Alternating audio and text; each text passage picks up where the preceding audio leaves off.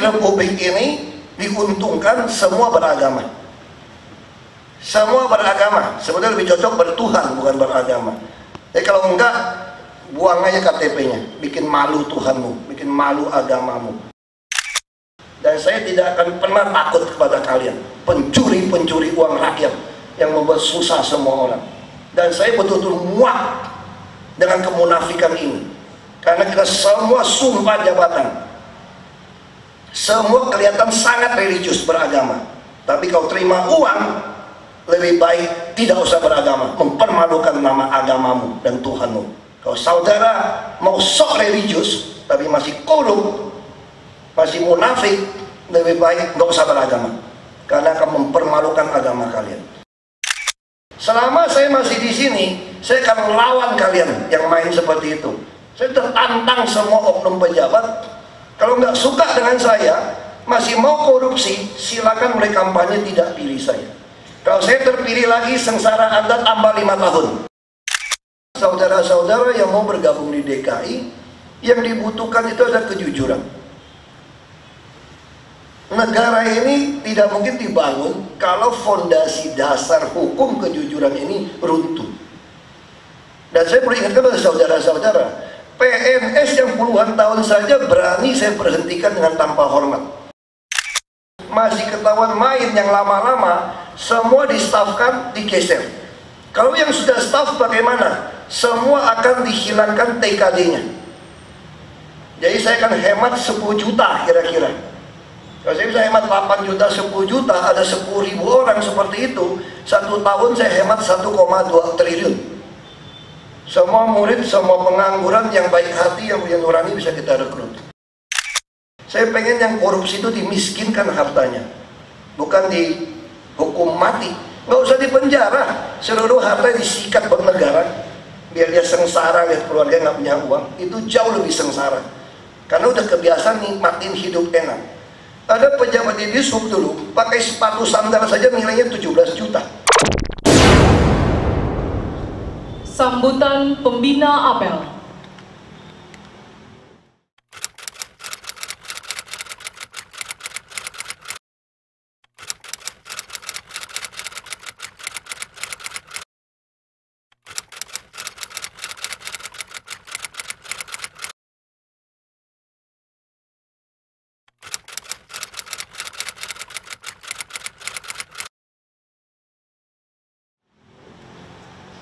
Yang saya hormati Bapak Sekjen. Ditebak. jajarannya. Yang saya hormati Pak Sekda dan jajarannya juga atas menghadir dan para pelatih dari TNI yang hadir. Assalamualaikum, Assalamualaikum, Assalamualaikum warahmatullahi wabarakatuh. Selamat pagi dan juga Badan Pengembangan Sumber Daya Manusia Kementerian Perhubungan dan juga dari Kepolisian Jalantas dan TNI yang telah melatih membentuk karakter juga pengetahuan bagaimana melakukan pengawasan dan pengendalian teknis lalu lintas. Saya ingat waktu pertama kali membentuk soal transportasi, jujur saja kami ini terlalu banyak yang punya pengetahuan tentang pengendalian teknis transportasi.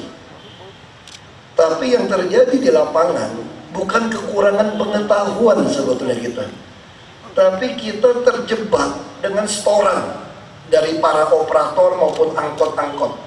Saya kira mungkin 20% 30% kemacetan di Jakarta disumbang oleh parkir tidak pada tempatnya, berhenti tidak pada tempatnya, apalagi di jam sibuk, jam pulang kantor justru di semua persimpangan itu didudukin.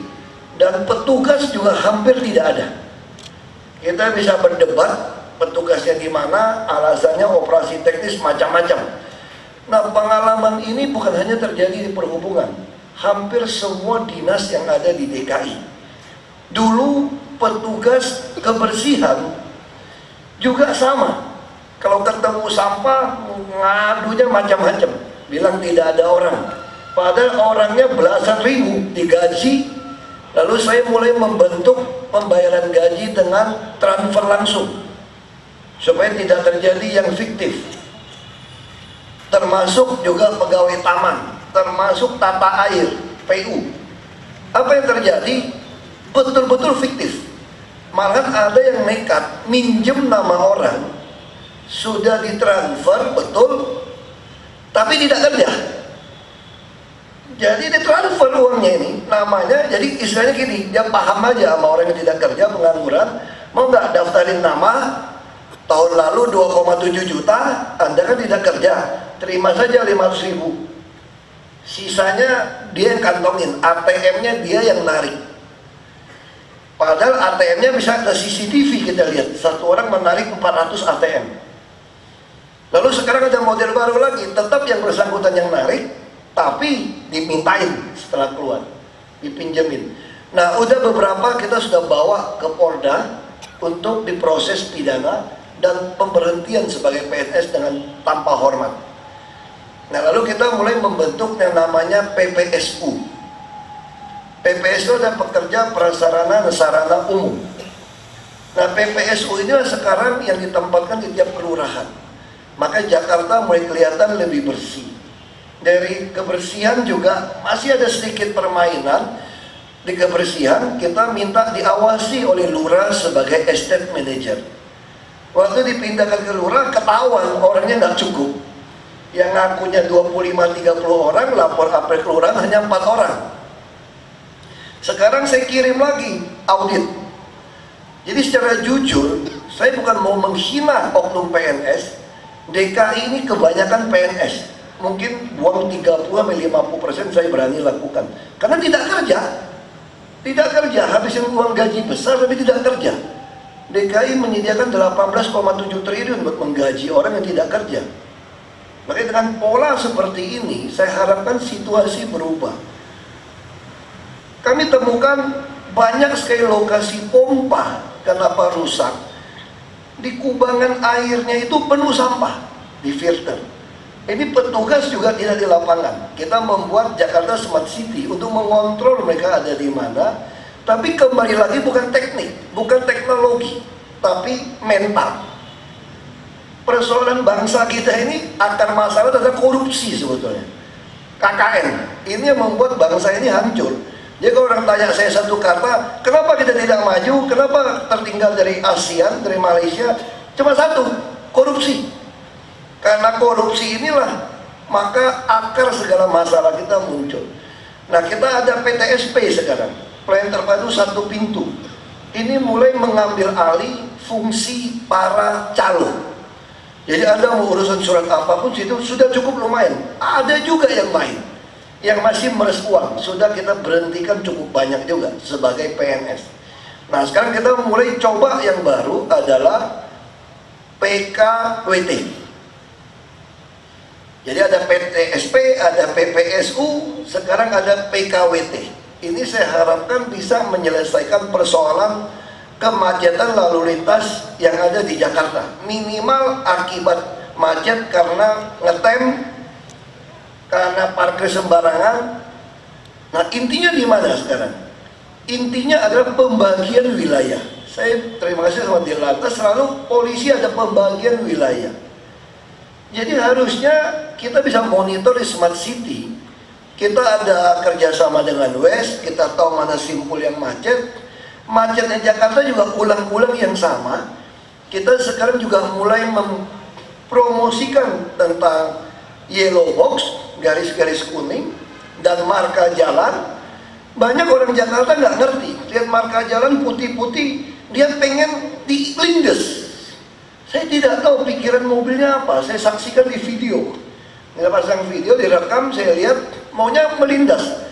Nah tugas saudara sederhana, apa yang sudah dilatih, apalagi yang sudah sekolah. Saya saja waktu merekrut kepala dinas perhubungan, wakil semua bukan orang perhubungan. Saya tanya, ngerti perhubungan nggak? Siap, tidak ngerti. Ya memang nggak ngerti kok. Saya bilang gampang, bisa bawa mobil nggak? Bisa. Mana ada tanda dilarang stop, mana tanda dilarang parkir, mana yang ngetem, direct tangkapin aja udah.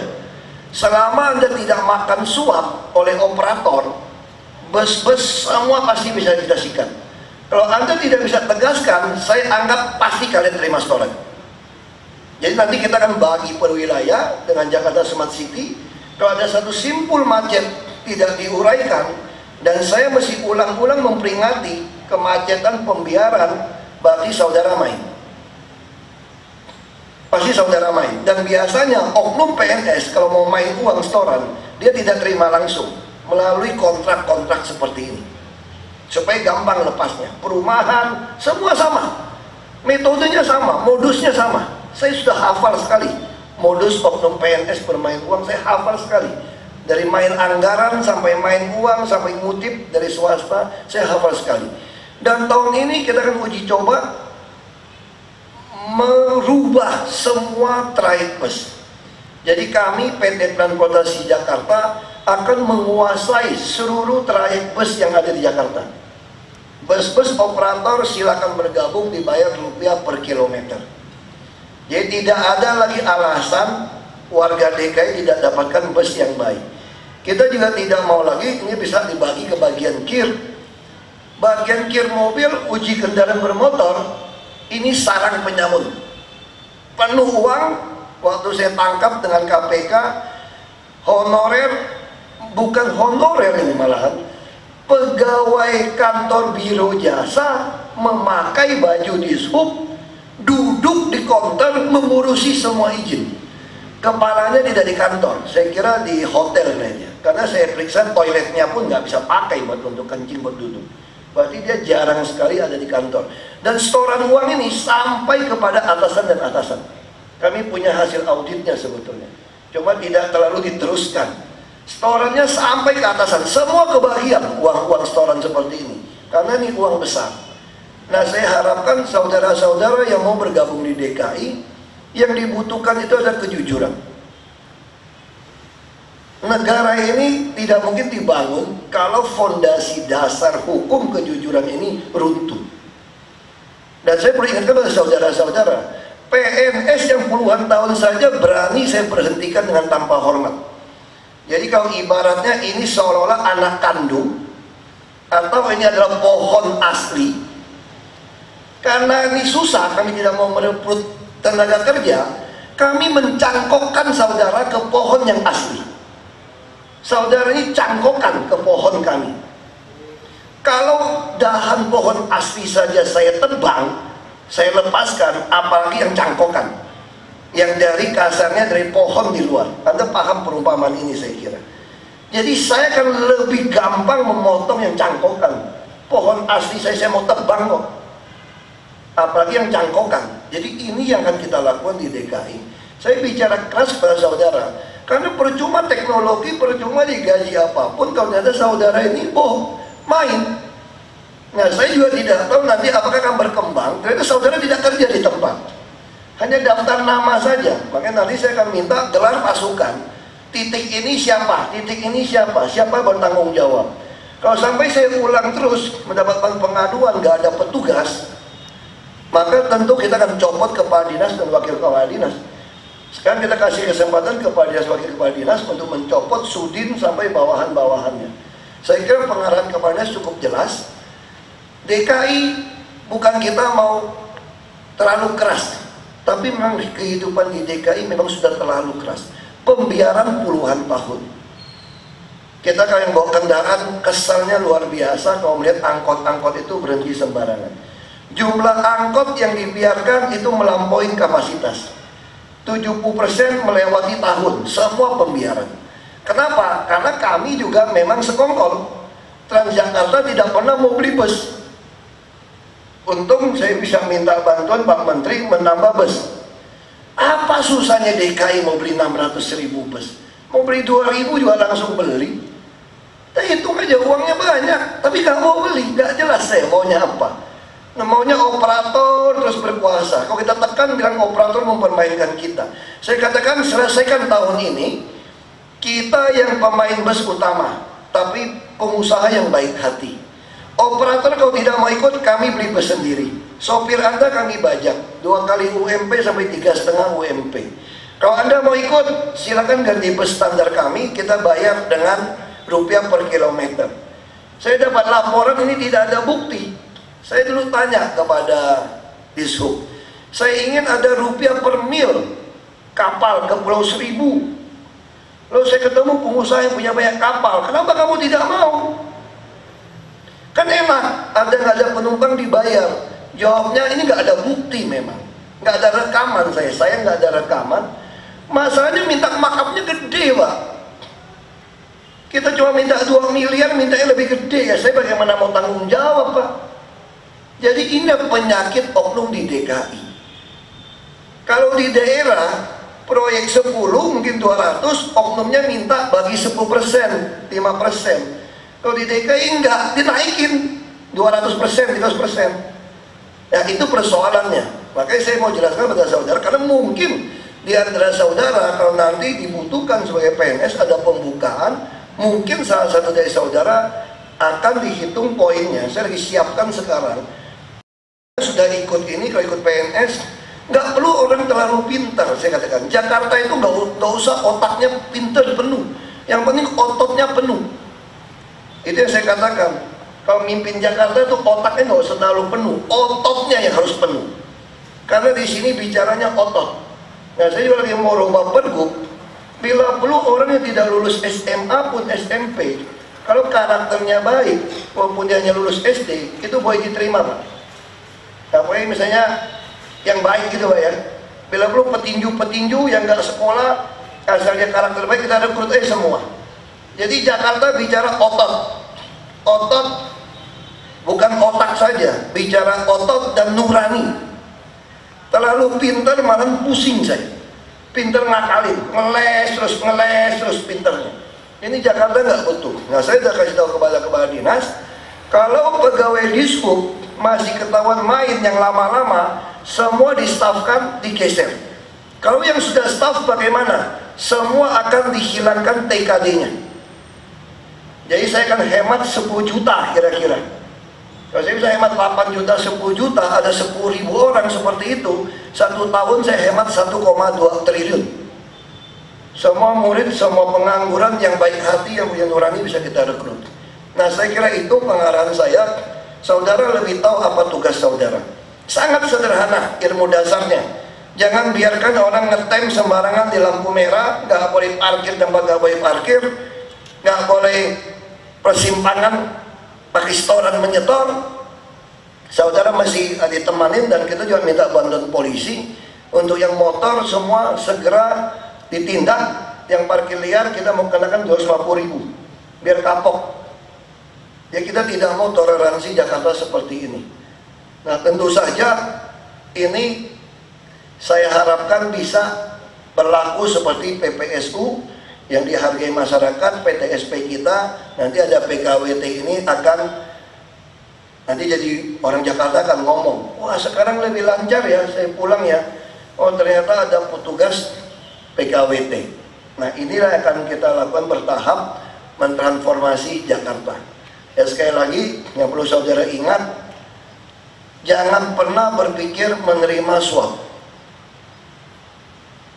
dan tidak ditoleransi sama sekali.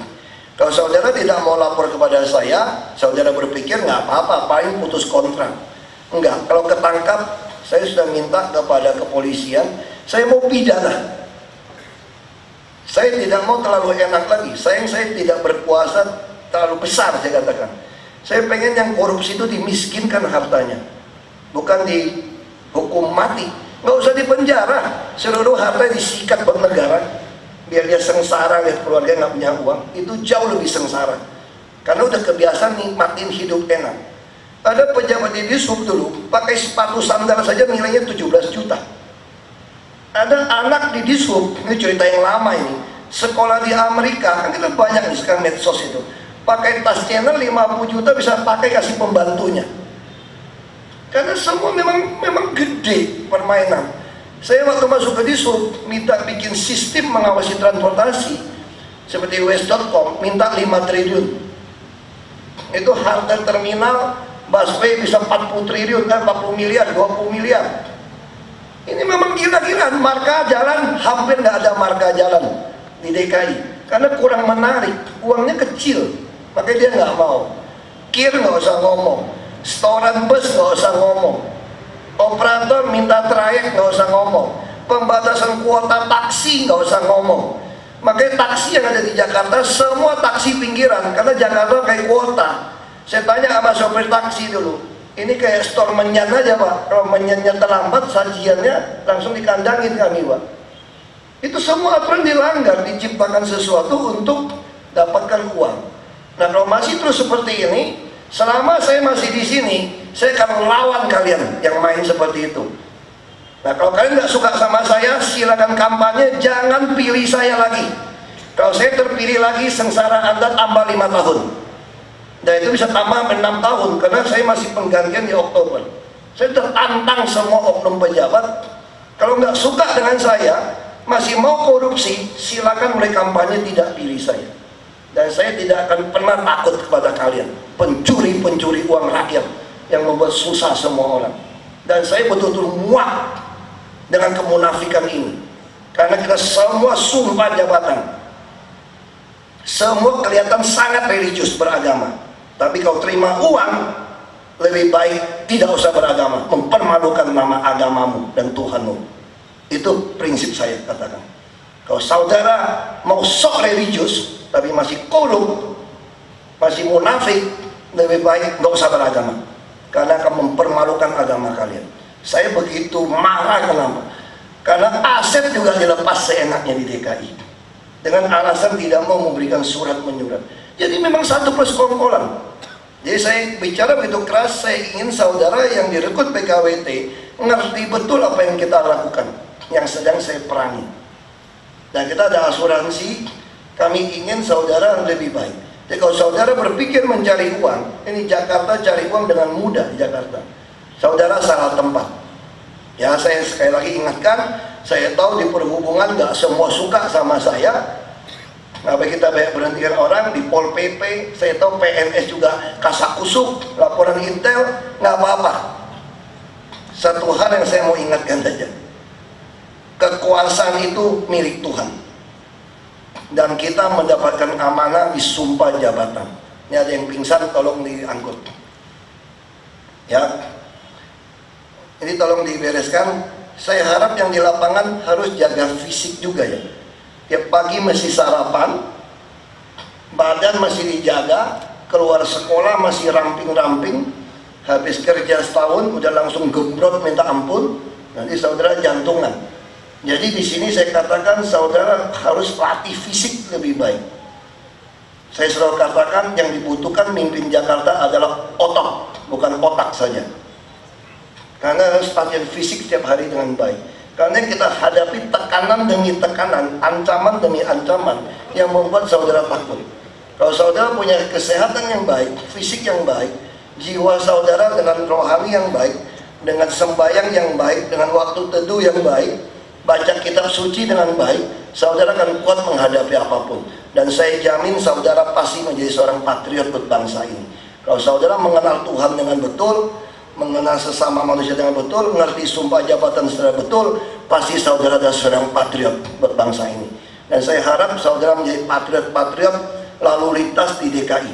Karena kekacauan lalu lintas di DKI sudah tidak bisa kita tolerir lagi. Ini fakta yang ada di lapangan. Ya, sekali lagi terima kasih. Mohon maaf kalau saudara agak kaget, tapi saya ingin sampaikan Jakarta ya seperti ini. Saya pimpin Jakarta seperti ini Mau ngadu fisik, mau ngadu argumen, semua saya ladenin. Jadi istilah di kampung saya, kalau bodoh, dengerin, nurut. Kalau pintar, ngajar.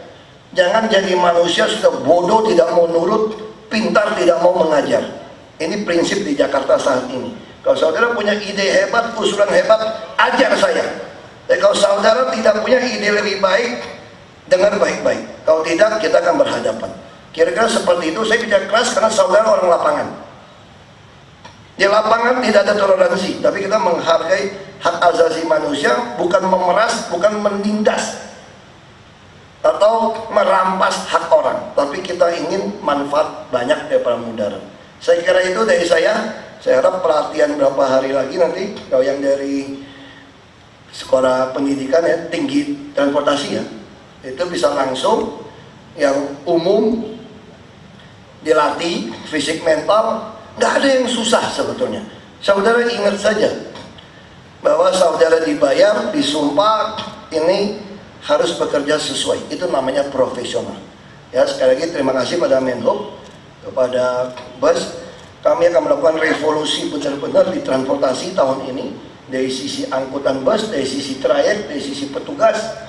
Kami akan sangat keras dan kita sekarang kepala disub, wakil disub, hampir semua bukan orang perhubungan. Ini artinya apa, Pak? Memalukan sekolah tinggi transportasi. Harusnya DKI begitu besar dipimpin oleh seorang kepala dinas perhubungan yang dari sekolah perhubungan.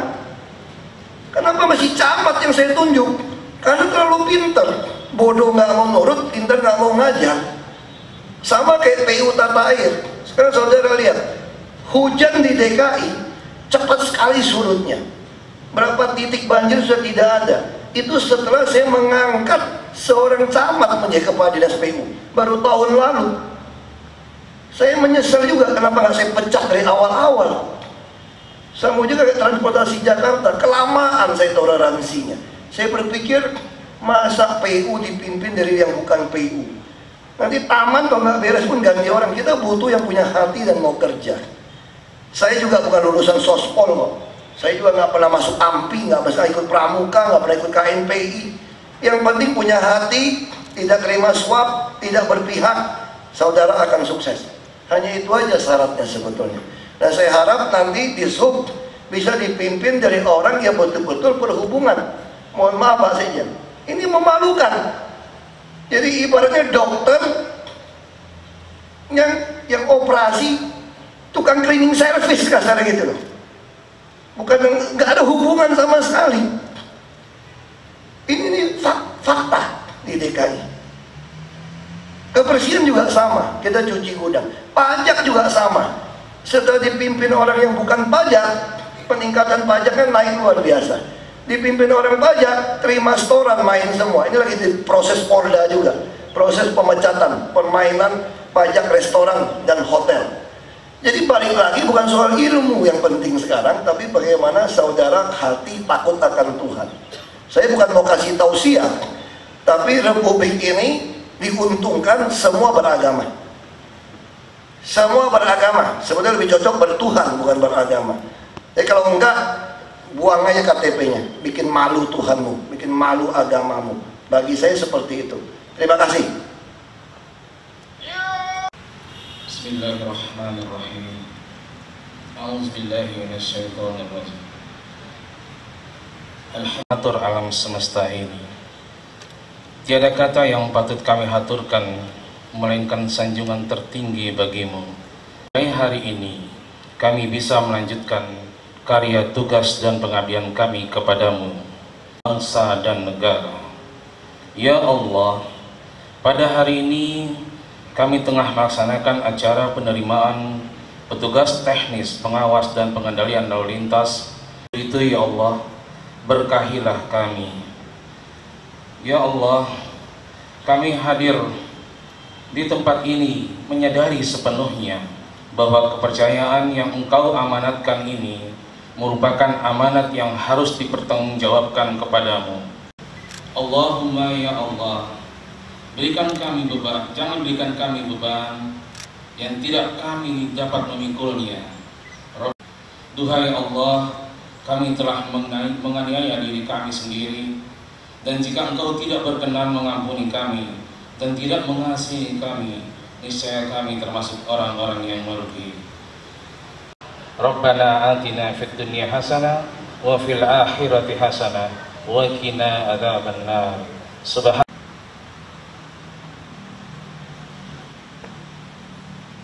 Apa yang telah dilaksanakan laporan selesai.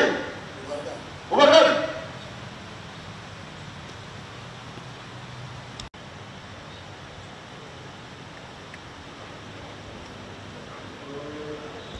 Kepada pembina apel.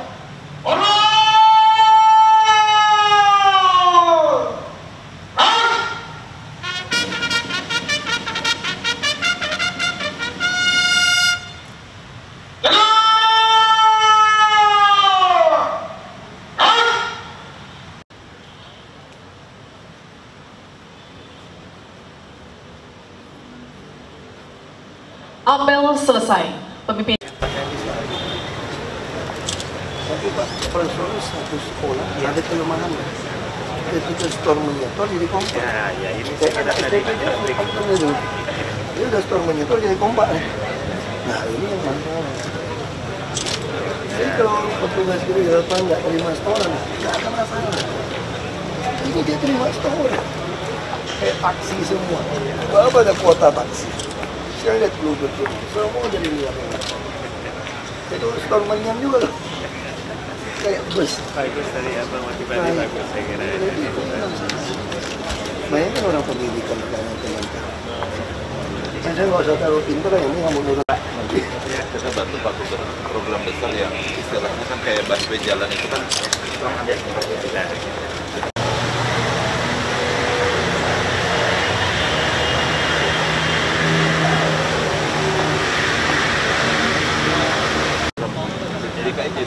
kalau lihat soal air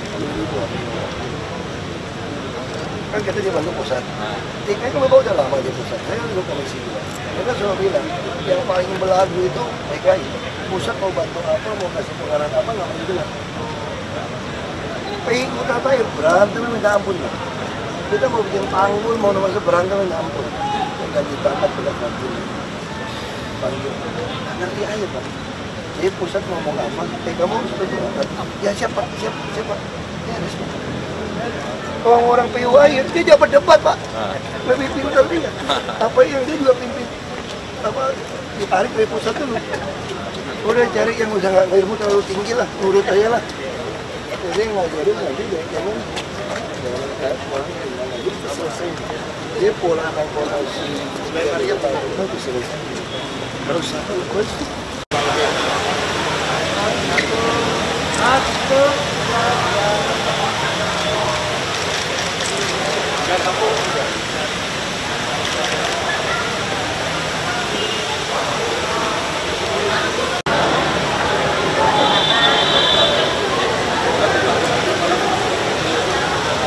Kan pulang dari dari dari seluruh Indonesia.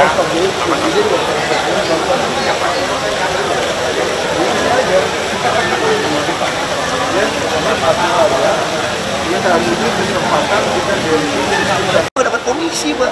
Saya maunya pakai duit saya kan. Walaupun pakai duit saya akhirnya 10 tahun, 20 tahun. Kalau dengan bapak saya lima tahun beres. Saya nggak mau. Pak. Saya simpen pak. Ini konyol. Terus kan dapat nih deket kok. Punya kita nggak jalan kan. Dia bilang sama menteri, kita bikin tanggul, bikin aja 2,7 sama 1,9 km. Tutupin Cirincing. Dulu pak, nggak mau bantu pak. Dinas kita pak. Terasa nyala, IMP nggak mau dikerjain. Nah sekarang panggil kepala dinas PU yang amat. Dinas wakilnya nggak ngerti PU nih. Kamu ngerti nggak? Ini air turun ke utara, utara pasang 2,8 meter. Jadi kalau lagi rob, hujan datang, Jakarta tenggelam. Lu butuh 3,8 meter tanggul. Lebar bila perlu 15 sampai 20 meter. PU mau kerjain, tinggi 3,8, panjang 2,9 keliling. Siapa? Siapa? Nggak berdebat, Pak. Oh, yang lama. Oh, nggak bisa, Pak. Yang lebarnya mesti sekian. Mesti kaji dulu, Pak. Mesti, aduh pusing deh. Eh, serius. kepentingannya dikemas alasan teknis Ini di putih baru saya marahin, Profesor Tanto. tanto Kamu pintar ya, tapi nggak usah bawa kampus ke sini ya. Saya mau suruh beli bus. Dia bilang, Pak, harus dikaji, Pak. Bus mana yang paling tepat? Apa bus max? Apa articulated? Apa single? Eh, gua nggak peduli. Nanti kelebihan, Pak. Sampai orang nggak ngantri berarti kelebihan. Nggak usah kaji, nggak usah survei. Lu beli terus aja. Di Jakarta orang nunggu bus kok mau sampai kapan tuh masih Jadi nggak usah dikaji, lu beli terus aja. Sampai orang udah nggak nunggu bus itu arti bus kelebihan. Baru gimana? Jalannya 24 jam.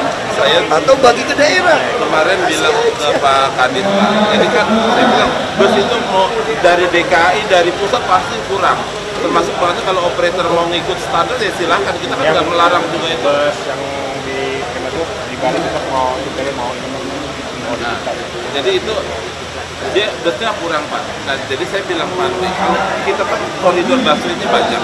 Semuanya kita layani dengan ya minimum standar. Tadi saya minta Basri bikin dua atau tiga koridor percontohan yang benar-benar jadi orang lihat di standar busway yang benarnya kita tumpahin busnya. Sekarang lihat aja Pak, kan banyak yang overlap dengan bus yang jelek.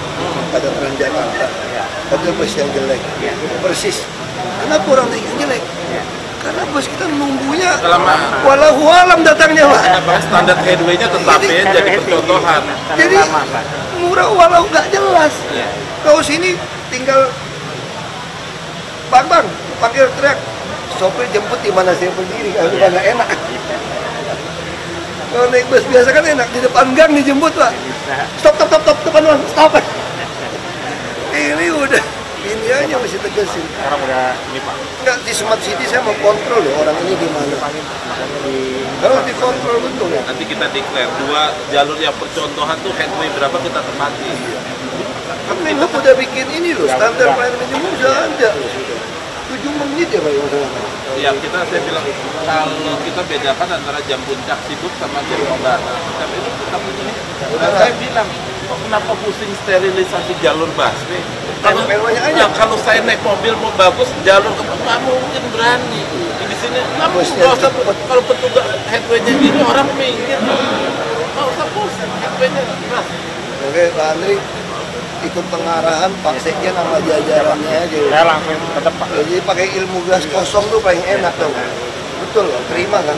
Iya. Yang kacau kan gelasnya udah penuh, bapak ngomong apa ya udah. Iya, paling enak tuh gelas kosong. Saya justru saya terima anak magang banyak lah.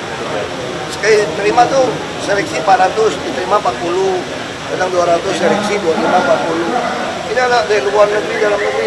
Ini kalau saya kasih tau gitu aja, eh sini hukumnya gampang ya. Kalau bodoh nurut, saya jadi pengajar. Kalau kamu pintar, kamu jadi pengajar, saya jadi murid. Saya dapat masukan banyak, Pak. Jadi nggak ada kepentingan. Semua boleh dia buka. Udah sampai. Kamu ke lapangan kritik saya. Mana yang belum beres? Oh, dia bikin daftar dosa saya, Pak. Ini, Pak, ini, Pak, ini, Pak. Saya langsung tahu daftar dosa anak buah saya. Wah, ini ngajarin saya nih. Cepet, Pak. Yang pintar ngomong, saya ajak makan siang bareng. Sampai makan, kamu ngoceh aja. Apa? Lu tanya apa? Wah, cepet, Pak. Kita udah nggak sempat. Kenapa bu? Lapor? Oh, Ya, dari Kalau ilmu udah banyak. oh. Tapi katanya saya punya karakter kurang bagus. Pak. Kurang santun, Pak. Makasih Pak Gop. Saya mau ke.